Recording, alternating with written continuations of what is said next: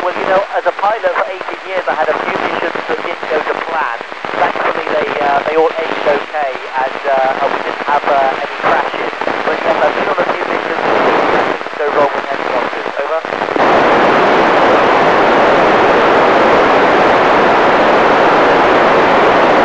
Hi Ella, microgravity feels wonderful. You can just have so much fun. Uh, you can do somersaults, you can work uh, standing upside down, and of course it's fun when you're eating and drinking as well. Everything floats in front of you. Over.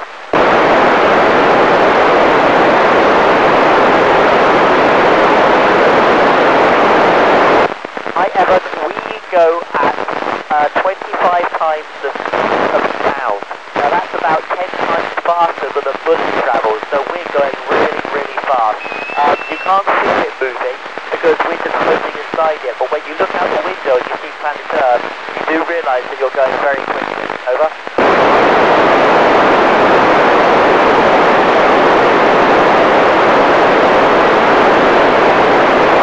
Hi Alana, I love that question. Um, you know, every time we see the aurora, the northern lights or the southern lights, and it's a magical green mist, it looks very unearthly. Over.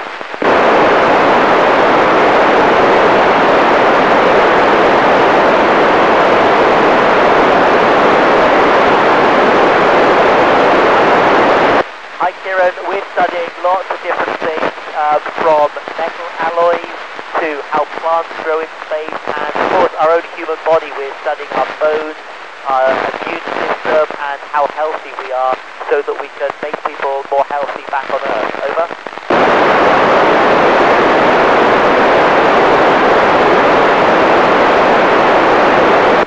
Hi Aidan, I was really, really excited when I went into space. It was the most exciting thing I've ever done, I think, riding a rocket into space.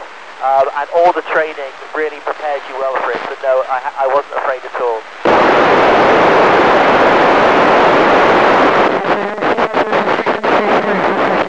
You know, we're very lucky we can talk to our family um, using uh, a computer here, and we can ring them up pretty much any time of the day. Uh, and once a week we get a video conference with our families as well. So we do have good contact with friends and family. Over.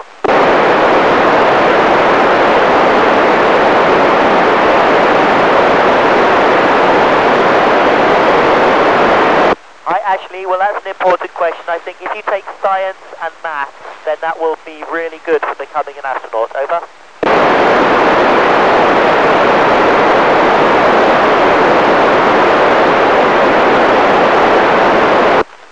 You know when you enter the atmosphere, it's uh, quite a smooth ride in that Soyuz rocket, but there's lots of acceleration, so you're firmly pressed back into your seat, and you can really feel the G-forces, but uh, it's very exciting.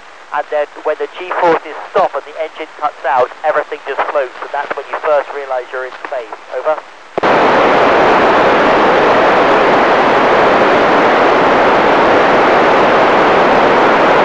Hi Ashwin. Spacewalks are hard work, yes, and they are difficult. We have to train a long time for them, and we do that in a huge swimming pool at Houston and Johnson Space Center. Um, but they're very. They're very hard work and they're great fun to do. Over.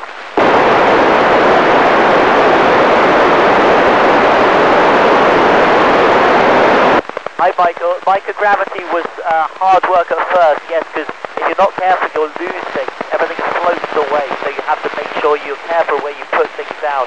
But once you get used to it, it's great fun. Over.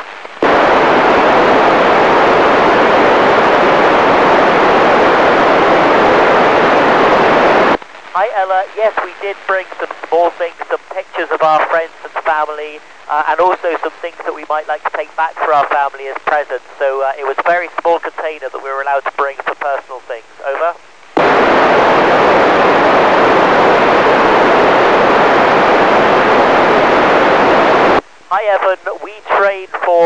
about uh, six years before you fly. Uh, you, you, you can't really go on a mission without training for at least three years. So it does take a long time to become an astronaut. Over.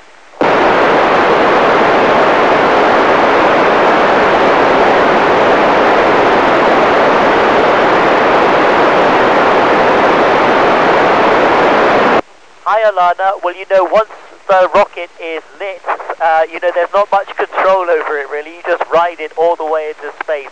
But if things do go wrong, then we do have emergency systems on the rocket where we can effectively just separate and parachute back down to Earth safely. Over.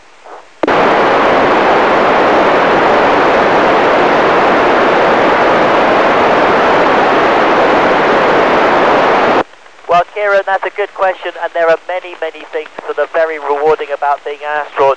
Like talking to you guys down there today in New York, it's really great fun for us to be able to talk to you. Um, we're the ones who get to enjoy space, we get to take wonderful photographs, we get to enjoy microgravity. Um, and I love the fact that we're also doing things up here that will help people back on Earth. Over.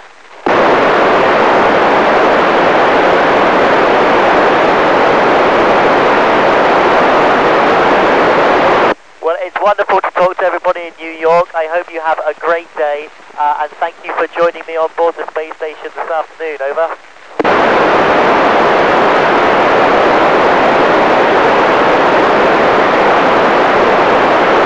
That sounds good to me, and a big 73 to you guys too.